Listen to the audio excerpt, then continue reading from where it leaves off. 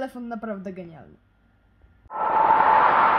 Cześć, witajcie. Dzisiejsza recenzja może być nieco dłuższa, a to dlatego, że dziś gościmy wyjątkowo odlotowy smartfon. Nubia Red Magic 5S. Smartfon gamingowy i bardzo, bardzo odlotowy. Zapraszam. Na początek dwa słowa o zestawie. Jak widzicie, telefon jest oferowany w takim oto fajnym pudełku, z którego wydobędziemy oczywiście makulaturkę, igłę do otwierania gniazda na karty i taki oto praktyczny pokrowiec. Praktyczny, bo nie tylko chroni tył przed zarysowaniami, ale przed stłuczeniem, bo ma takie, patrzcie, o, takie fajne wystające narożniki, które y, mają szansę ochronić wyświetlacz i tył obudowy, kiedy telefon upadnie nam na narożnik właśnie. Komplet obejmuje jeszcze taki fajny czerwony przewód do ładowania, no i zasilacz. Ale zasilacz niestety, moi drodzy, już jest trochę mniej fajny, bo o ile telefon obsługuje szybkie ładowanie 55 W, o ile w Chinach i w kilku jeszcze rejonach świata dostaniecie go z odpowiednią ładowarką, czyli 55W, o tyle nasza europejska ma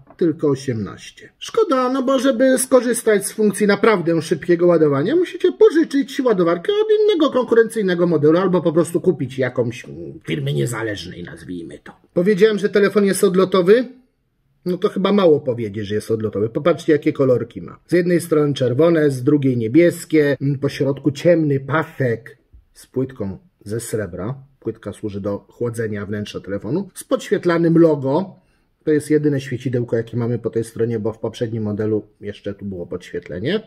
Oczywiście potrójny aparat fotograficzny z diodą LED, taki dosyć, dosyć wyrazisty wzór na obudowie, jak widzicie. Fajnie to wygląda, fajnie się mieni. Dwa kolorki powtarzają się zarówno na górze, jak i na dole obudowy. No i możemy sobie jeszcze je powtórzyć na wyświetlaczu. Wygląda to naprawdę bajerancko, no i powiem szczerze, można ten wygląd albo pokochać, albo znienawidzić. Na pewno rzuca się w oczy, na pewno jest oryginalny, na pewno jest wyróżniający się z tłumu, a to czy się komuś spodoba, czy nie, hmm. No trudno. Ja za was nie zdecyduję. Mnie się podoba o tyle, że po prostu jest miłą odmianą po testowaniu modeli w kolorze czarnym lub białym lub w najlepszym razie zielonkawym. Front obudowy jest już y, zdecydowanie bardziej zwyczajny. Mamy spory wyświetlacz z lekkimi marginesami na dole i na górze, z równą ramką, bez żadnych otworków, bez żadnych noczy, lekko zaokrąglone narożniki, po prostu klasyka. Ale ta klasyka ma sens o tyle, że kiedy gramy, to unikamy przypadkowych dotknięć brzegów ekranu na górze i na dole, więc jest to moim zdaniem przemyślany ruch. No i skoro zacząłem opowiadać, y, co gdzie ten telefon ma, to od razu patrzymy na dolną ściankę. Na dolnej ściance jeden z głośników, bo są dwa. USB-C, mikrofon i szufladka na dwie karty. Niestety tylko na dwie karty nano SIM nie da się tutaj rozbudować pamięci, co jest moim zdaniem minusem tego telefonu. A plus mamy na górze, bo na górze mamy mini jacka. No i oczywiście kolejny mikrofon. Na lewym boku mamy tajemniczy przełącznik. Służy on do włączania trybu gry. Za chwilę Wam o nim opowiem. Mamy tutaj też y, tajemnicze piny, które służą do podłączania stacji dokującej, która nawet może mieć port LAN, ale niestety oczywiście trzeba ją dokupić osobno. No i jeszcze do tego otwory. Co to jest? Moi drodzy, to jest wlot powietrza, bo po drugiej stronie mamy wylot, a w środku telefonu mamy wentylator kręcący się z prędkością 15 tysięcy obrotów na minutę. Po to, by wydajnie chłodzić wnętrze telefonu, kiedy go mocno obciążymy grając w gry. No i jak już Wam pokazałem prawy bok, to wędrujemy. Mamy tu jeszcze dwa dodatkowe, dotykowe y, przyciski do gier. Możemy je sobie skonfigurować. Mamy oczywiście już wspomniane wyloty, no i przyciski. Dla mnie te przyciski, zarówno włącznik, jak i głośność, są odrobinę za nisko, no ale nie mogły być wyżej, bo wlot powietrza. Za to z pewnością y, przypadną do gustu tym, którzy mają nieco mniejsze dłonie niż ja, no bo wtedy będzie łatwiej do nich sięgnąć, a sam telefon, jak widzicie, do najmniejszych nie należy, nie jest też najlżejszy. Także bierzcie to pod uwagę, zastanawiając się nad wyborem tego właśnie modelu. Jeżeli chodzi o jakość wykonania, nie mam absolutnie żadnych zastrzeżeń. Co do ergonomii, no to już powiedziałem, te przyciski mogłyby być trochę wyżej, ale reszta jest jak najbardziej w porządku. Z minusów, jeżeli chodzi o ogół tej konstrukcji, no to oczywisty, niestety brak wodoszczelności, ponieważ mamy tutaj otwory chłodzące wewnątrz wentylator, to powietrze musi przepływać, więc y, stworzenie tego telefonu wodoszczelnym może nie było niemożliwe, ale na pewno byłoby bardzo, bardzo, bardzo skomplikowane i trudne. A, a jeśli komuś te kolorki nie odpowiadają, to może ten telefon również mieć w kolorze srebrnym, który jest trochę bardziej klasyczny, ale też dosyć oryginalny i też dosyć rzucający się w oczy. Niestety ten model w kolorze srebrnym występuje tylko z niższym zestawem pamięci, czyli 8 plus 128 GB, a ten ma 12 plus 256. Zatem jeżeli chcecie mieć ten mocniejszy wariant, jesteście skazani na te kolorki. Wyświetlacz no jest po prostu boski. Tak jak już wspomniałem, bez żadnych otworków, noczy i tak dalej, czyli, czyli zgrabne, równe obramowanie. Matryca oczywiście Full HD, oczywiście AMOLEDowa i do tego super szybkim odświeżaniem 144 Hz. Oczywiście jest tutaj automatyczna regulacja częstotliwości odświeżania, bo nie zawsze potrzebujemy tak wysokiej i nie zawsze trzeba drenować akumulator. Możemy też ją ręcznie przełączyć na standardowe odświeżanie z częstotliwością 60 Hz albo na 90 Hz. No i co tu dużo mówić, no ekran jest genialny. Oferuje znakomite kolory, znakomitą czerń, znakomite kąty czytelności, maksymalna jasność bardzo wysoka, minimalna jasność idealna do czytania w nocy. Jest oczywiście ochrona wzroku, jest oczywiście możliwość dostosowywania kolorystyki do naszych upodobań i potrzeb. Do tego mamy panel dotykowy odświeżany z częstotliwością 240 Hz, bardzo precyzyjny, no ale jeszcze jest pewien minusik, mianowicie taki, że ten ekran dosyć szybko zbiera ślady paluchów i trzeba go często przecierać. Ach, no i gdybyście nie zauważyli, to wyświetlacz jest całkowicie płaski, więc ukłon dla tych, którzy nie lubią zaokrąglonych brzegów. Powiedziałem Wam już, że telefon ma dwa głośniki, jeden tu na dole, drugi w słuchawce. To pociągnijmy przez sekundkę ten temat. Głośniki grają naprawdę donośnie i do tego czysto. Co prawda nie jest to takie idealne stereo, bo jeden głośnik jest na dole, drugi na froncie, ale kiedy tego słuchamy, to ten dźwięk rozchodzi się dosyć równomiernie i nie czujemy, że ten jeden głośnik gra dużo inaczej niż drugi. Słychać różnicę w ich brzmieniu, ale nie jest ona jakaś strasznie kolosalna, dokuczliwa czy porażająca. Na pewno ten dźwięk sprawdzi się świetnie podczas grania, podczas oglądania filmów, no i podczas rozmów telefonicznych też, bo moi drodzy, nie wiem czy wiecie, ale z gamingowego telefonu też można telefonować i SMS-ować. I tutaj absolutnie żadnych problemów nie zauważyłem. Telefon dobrze radzi sobie w miejscach o słabym zasięgu sieci. Bezproblemowo współpracuje z routerami tymi, które mam do dyspozycji. Bezproblemowo współpracuje z urządzeniami Bluetooth, z którymi zwykle testuję telefon telefony. GPS też jest w porządku, nie zauważyłem tutaj kompletnie niczego niepokojącego. Jakość dźwięku podczas rozmowy jest znakomita. Do obsługi rozmów połączeń telefonicznych mamy prosty firmowy dialer, a do obsługi komunikacji tekstowej klawiaturę od Google. To telefon gamingowy, więc y, nie mogę pominąć tematu yy, mechanizmu wibracyjnego w nim. Jest naprawdę bardzo fajny, daje bardzo fajne odczucia podczas grania, ale i podczas normalnego korzystania z telefonu ta haptyka działa w bardzo sympatyczny sposób. Nubia Red Magic 5S oferuje typowy obecnie zestaw zabezpieczeń, y, czytnik linii papilarnych schowany pod ekranem i układ rozpoznawania twarzy oparty o przedni aparat. Jedno i drugie działa dobrze. Czytnik jest y, dosyć niezawodny, nie zirytował mnie, także jest myślę całkiem ok. A do tego jeszcze ma fajny feature. Można sprawić, żeby y, podświetlał miejsce, gdzie należy przyłożyć palec, kiedy uniesiemy telefon. Nie musimy stukać w ekran. Oczywiście jest wybudzanie dwuklikiem, ale nie musimy tego robić. Wystarczy unieść telefon, by podświetliło się miejsce, gdzie należy przyłożyć palucha. Y, testowana przeze mnie Nubia Red Magic 5S pochodzi z europejskiej dystrybucji, ma zatem zeuropeizowany interfejs. A interfejs moim zdaniem jest całkiem fajny, bo jest prosty. Nie jest wcale przeładowany dodatkowymi jabłkami. Nie ma tu żadnych śmieci. Oczywiście żadnych reklam też nie ma. Na start tak naprawdę dostajemy to, co jest nam najpotrzebniejsze. W interfejsie znajdziemy typowe obecnie opcje, jak chociażby możliwość przełączania się pomiędzy trybem płaskim a trybem z szufladą na aplikację. Możemy zmieniać siatkę ikon, możemy włączyć sobie tryb ciemny. Z racji obecności AMOLEDa mamy oczywiście też Always on Display, chociaż producent nie zapomniał o diodzie powiadomień, którą umieścił nad ekranem. Po interfejsie możemy poruszać się za pomocą tradycyjnych y, przycisków do ekranu albo za pomocą gestów ekranowych. Panel skrótów i powiadomień wyglądają dosyć typowo, są po prostu czytelne. Nie ma na co narzekać. Skróty oczywiście możemy edytować. W menu ustawień z kolei znajdziemy jeszcze osobne działy do zarządzania chociażby wentylatorem, czyli y, systemem chłodzenia, czy stacją dokującą, którą ewentualnie podłączymy sobie do telefonu. Z racji tego, że to telefon gamingowy, mamy również dosyć rozbudowane funkcje funkcje związane z wykonywaniem zrzutów ekranu czy z nagrywaniem ekranu.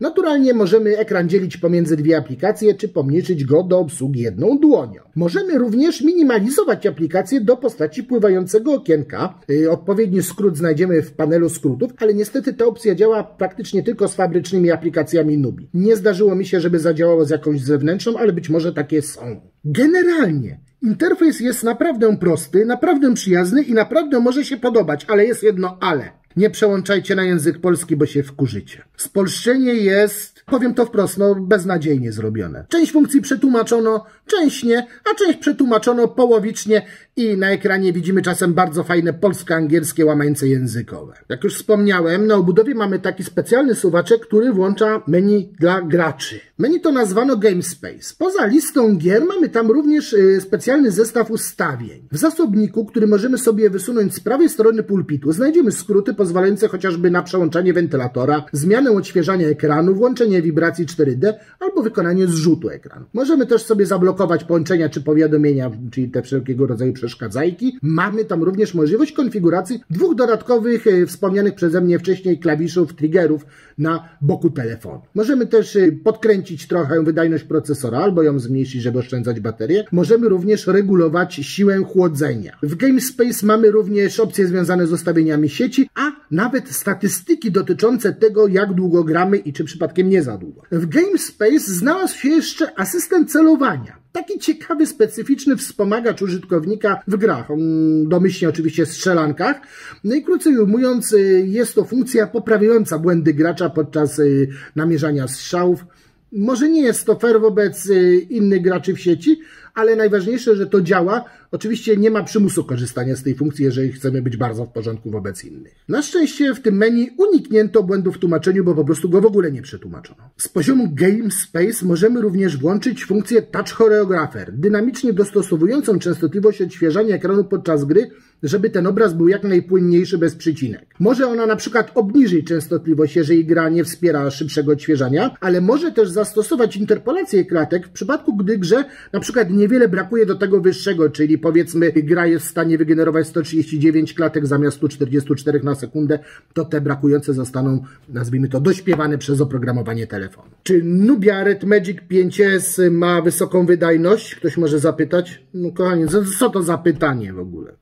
Mamy w środku Snapdragona 865, 12 GB RAMu i to tego DDR5 szybkiego, wewnętrzną pamięć UFS 3.1, czyli również tą szybszą, no i do tego ten unikalny system chłodzenia, który nie tylko ma do dyspozycji wentylatorek, ale wykorzystuje jeszcze rurkę z cieczą chłodzącą i wspomnianą już wcześniej metalową, srebrną płytkę na zewnątrz obudowy, która wyprowadza całe to ciepło. Ów rozbudowany układ chłodzenia możemy jeszcze wspomóc dodatkowym akcesorium zwanym Ice Dock, jakie oferuje Nubia. Moim zdaniem ten dodatek jednak możecie sobie darować przy zakupie, ponieważ jest trochę bez sensu. Przede wszystkim, żeby z niego korzystać, trzeba podłączyć mu zewnętrzne zasilanie. Wbrew temu kabelkowi nie potrafi zasilać się y, wprost telefonu a do tego, kiedy go założymy, rośnie prawdopodobieństwo przypadkowego naciśnięcia klawisza głośności czy głośnika, bo akurat w tym miejscu wypada mocowanie tego akcesorium. No i tu nad wydajnością tego telefonu nie ma sensu się specjalnie rozwodzić. To po prostu jeden z najwydajniejszych smartfonów na rynku i tyle. Jakie tu widzę minusy? W zasadzie tylko dwa. Przede wszystkim głośną pracę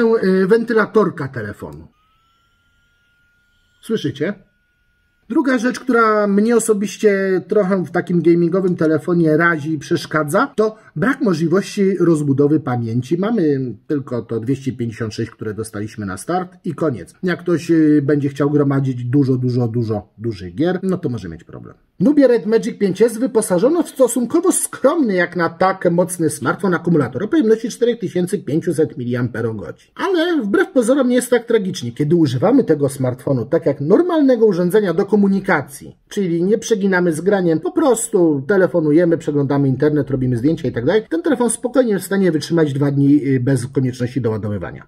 Na luzie, naprawdę. Natomiast jak gramy, No to cóż, osiągi akumulatora zależą od tego, jak długo będziemy grać, bo rzeczywiście mm, znam człowieka, który rozładował ten telefon dosłownie w kilka godzin jest to też możliwe. Także czas działania tak naprawdę zależy głównie od Was. No myślę, że taki telefon kupuje się głównie do grania, zatem y, proponuję raczej nosić ze sobą albo powerbank, albo częściej korzystać z ładowarki. No i tu przypominam, my w Europie mamy tą słabszą 18W, więc najlepiej kupcie sobie od razu jakąś szybką, solidną 55W ładowarkę. Jak pożyczyłem taką mocniejszą ładowarkę od innego smartfona, to ta bateria naładowała się w 40 minut. Ale tą firmową ładowarką no niestety ładuje się znacznie, znacznie dłużej, dobre półtorej godziny. Na pocieszenie dodam, że podczas ładowania też możemy uruchomić wentylator wewnątrz telefonu, po to, żeby yy, chronić baterię przed yy, nadmiernym nagrzaniem się. Utarło się, chociaż nie wiem dlaczego, że gamingowe smartfony nie są mistrzami fotografii, nie brylują w tej dziedzinie.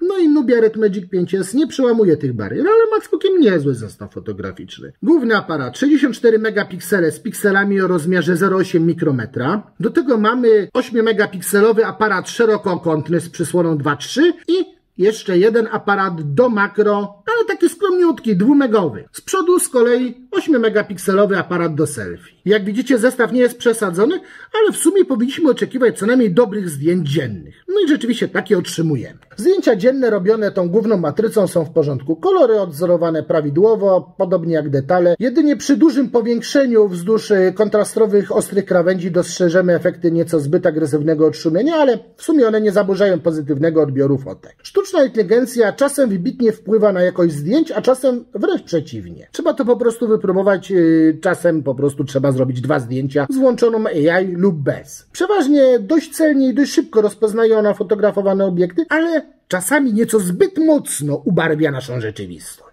Co dziwne, w Red Magic 5S nie ma teleobiektywu, ale w interfejsie aparatu znajdziemy trzy kroki przybliżenia. Trzykrotne, pięciokrotne i dziesięciokrotne. Są one wszystkie realizowane metodą kadrowania obrazu z dużej 64-megowej matrycy. No i oczywiście tutaj najlepszą jakość y, znajdziemy przy tym najmniejszym przybliżeniu trzykrotnym. Potem to już wygląda jak y, przy cyfrowym zoomie. Oczywiście dobrym cyfrowym zoomie, ale nadal cyfrowym i to po prostu się rzuca w oczy. Na głównym pulpicie z kolei nie znajdziemy dostępu do obiektywu szerokokątnego. To trochę bez sensu, ale ukryto go w trybie Pro, tak jakby y, Nubia nie chciała się w ogóle chwalić tym szerokokątnym obiektywem. No i może i dobrze, bo zdjęcia robione tym szerokokątnym obiektywem nieco odstają jakością od tych z głównej matrycy, są poprawne, no i to tyle. Zdjęcia nocne, no też powiedzmy, że są poprawne, w każdym razie nie rzucają na kolana. Widać sporo szumów, odwzorowanie detali nie jest już tak rewelacyjne jak w dzień, ale na pocieszenie pozostaje nam dość wierne oddanie kolorów i brak y, jakichś przesadnych prześwietleń,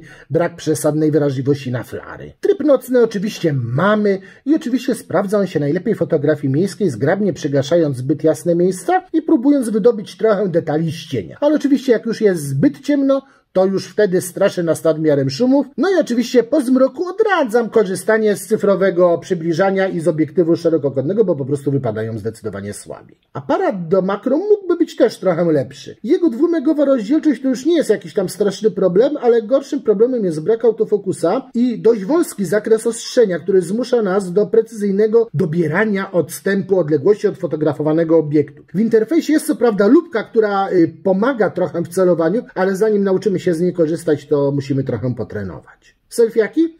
Selfiaki są całkiem dobre jak na 8-megowy aparat. Kolor skóry jest y, oddawany naturalnie, tło zazwyczaj też, ale oczywiście jak to przedni aparat bywa, że prześwietla nam zbyt jasne tło. Jest to typowa przypadłość nie tylko w tym smartfonie, więc nie robię z tego problemu. W przednim aparacie mamy też upiększanie i rozmywanie tła. Działają w miarę poprawnie, ale bez rewelacji. W aparacie jest mnóstwo innych funkcji. Poza wspomnianym rozmywaniem tła mamy też malowanie światłem, kolonowanie postaci, czy nawet tryb fotografii gwiazd. Większość z tych trybów działa poprawnie, ale w wielu przypadkach brakowało mi tam takiej drobnej, krótkiej instrukcji, jak z tego trybu skorzystać i do czego go wykorzystać. Nie wszystkie nazwy idealnie oddają istotę danej funkcji i nie wszystkie działają w taki prosty, oczywisty sposób. Ale sam interfejs fotograficzny jest całkiem w porządku, chociaż oczywiście tradycyjnie brakuje mi możliwości uszeregowania trybów pożądanej przeze mnie kolejności. W dziedzinie filmowania Nubia Red Magic 5S wypada przyzwoicie. Może nagrywać w rozdzielczości nawet 8K w 30 klatkach na sekundę, ale i w innych rozdzielczościach filmy wychodzą dobrze zarówno za dnia,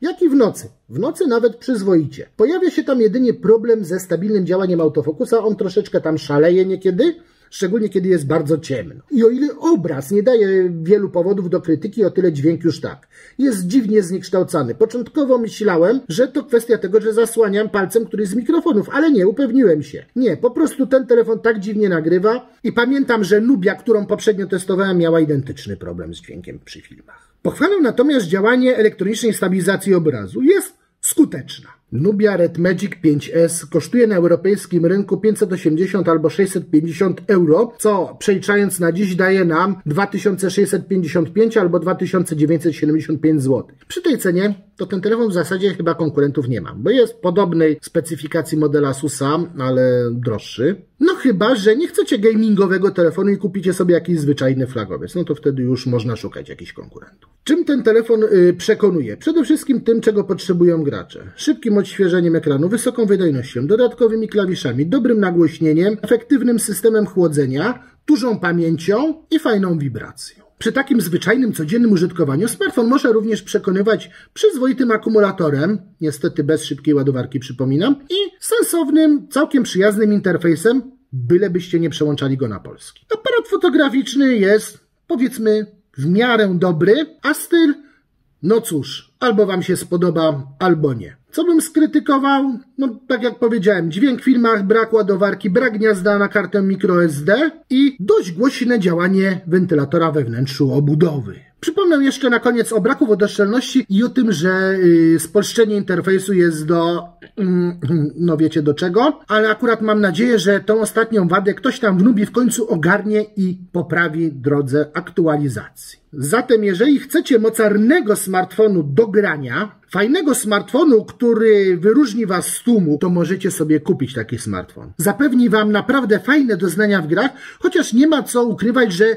minusy również posiada. Na szczęście cena w sporym stopniu rekompensuje te niedogodności, które wymieniłem. I to by było na tyle. Bardzo Wam dziękuję, że byliście ze mną. Zapraszam oczywiście na kolejne filmy, a teraz Nubia wraca do pudełeczka, a ja do testowania kolejnego smartfona. Do zobaczenia w kolejnym filmie. Cześć!